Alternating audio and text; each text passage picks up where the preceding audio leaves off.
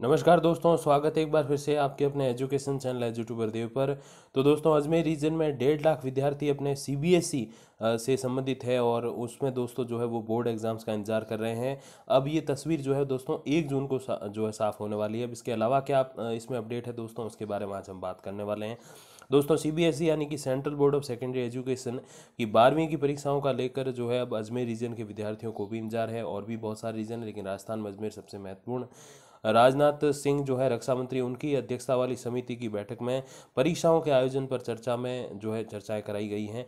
अब एक जून को अब इसका अधिकृत फैसला होगा। इससे पहले स्कूलों और विभिन्न संगठनों से भी चर्चा की माननीय शिक्षा मंत्री जो रमेश पोखरियाल निशंक हैं, उन्होंने कोरोना संक्रमण के कारण सीबीएसई ने बारहवीं की परीक्षाओं को स्थगित किया है। बोर्ड के अजमेर रीजन में राजस्थान और गुजरात के तकरीबन डेढ़ लाख विद्यार्थी जो है वो इस एग्ज़ाम में बैठने वाले हैं। एग्ज़ाम का वेट कर रहे हैं।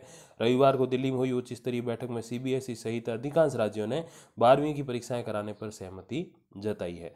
अब विद्यार्थियों को बारहवीं की परीक्षा के फॉर्मेट का इंतज़ार है। परीक्षा कैसे और कहाँ होगी, इस पर एक जून को निर्णय होगा। ऑनलाइन है, ऑफलाइन है, उसमें सारे O M R sheet type जो फ़ंक्शन होते हैं अपने कंपटीशन एग्ज़ाम में, वो हैं। या फिर कैसे क्या सारी व्यवस्थाएँ होंगी ऑब्जेक्टिव टाइप क्वेश्चन होंगे, या फिर पूरे विस्तार पूर्वक जो निबंधात्मक होते हैं, वो होंगे। क्या चीज़ें रहेंगी कोर्स कितना सिलेबस कितना, वो सारी बातें भी उसमें क्लियर हो जाएँगी कब दोस्तों? एक जून को।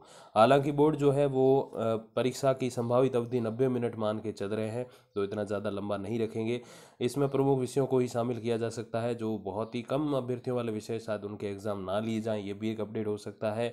कोविड प्रोटोकॉल की पालना के साथ जुलाई में परीक्षाएँ कराई जा सकती हैं। तो एक वैसे भी कहा था कि पंद्रह से बीस दिन पहले बोल देंगे।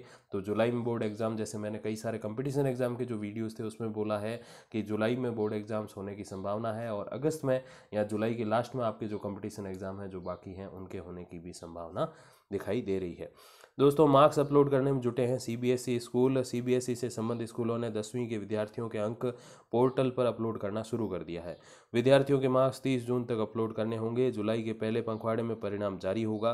बोर्ड के परीक्षा नियंत्रक डॉक्टर सैम भारद्वाज ने बताया कि एक मई को जारी परिपत्र के अनुसार स्कूल कमेटियों को दसवीं के विद्यार्थियों के मार्क्स अपलोड करने हैं। और इसके लिए अब जो है तीस जून तक का समय दोस्तों, जैसे मैंने पिछले एक वीडियो में बताया था आपको।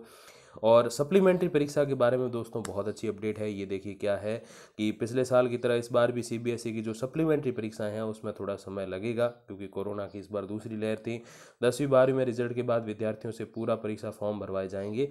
आने वाले दो तीन महीनों में कोरोना संक्रमण की स्थिति भी बोर्ड देखेगा और उसके बाद जो है तकरीबन ढाई लाख से ज़्यादा विद्यार्थी जो है वो पूर्व परीक्षा में बैठते हैं क्योंकि काफ़ी टफ भी रहते हैं सारे एग्ज़ाम्स और इसमें दोस्तों बाद में अपडेट होगी। तो अगस्त, सितंबर में पूर्व परीक्षा और जुलाई में आपके मेन ट्वेल्थ की बोर्ड परीक्षा कराई जा सकती है। बाकी एक जून को फाइनल निर्णय होगा और उसमें फिर जो भी दोस्तों अपडेट आएगा तो मैं आप तक लेकर हाजिर हो जाऊँगा। वीडियोज़ और कम्युनिटी पोस्ट के माध्यम से। तब तक के लिए दोस्तों धन्यवाद। नमस्कार।